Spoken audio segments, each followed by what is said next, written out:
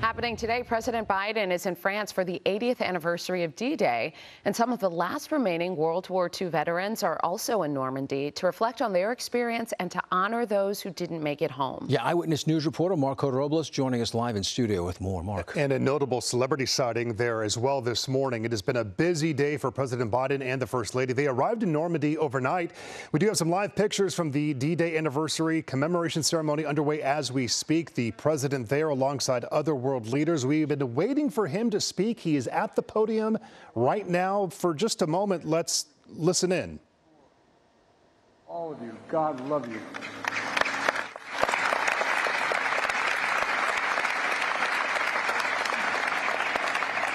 Winston Churchill called what happened here, quote, the greatest, most complicated operation ever, end of quote.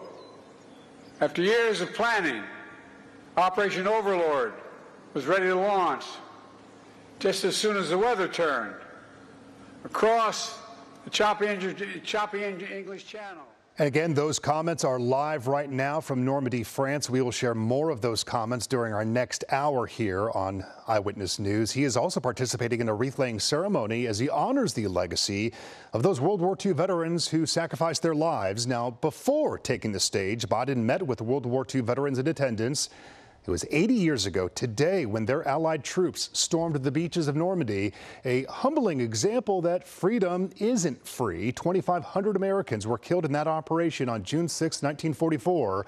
The remaining survivors of that invasion now ranging between 96 and 107 years old. I've never seen as many dead men on the beaches as I've ever seen.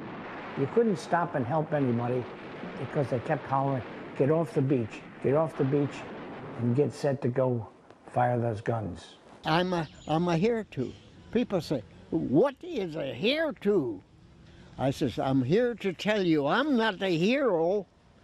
it's those guys up there that gave their life so that I could make it through. Actor Tom Hanks and director Steven Spielberg also there nearly 30 years ago. They released Saving Private Ryan based around the events of D-Day and the storming of Omaha Beach, where Biden will visit next during his schedule of events today. Biden describing the 1944 invasion as one of the most important moments in the history of defense of freedom and democracy, adding that democracy is literally on the ballot this year. He plans to leave Normandy later this morning, returning to Paris, where he will be honored by French President Emmanuel Macron. You saw them together just a moment ago in the video. Hello, I'm Marc Brown. Get more great ABC7 content by clicking the subscribe button for our YouTube channel and download the ABC7 Los Angeles streaming app on Fire TV, Android TV, Apple TV, and Roku to watch on your TV.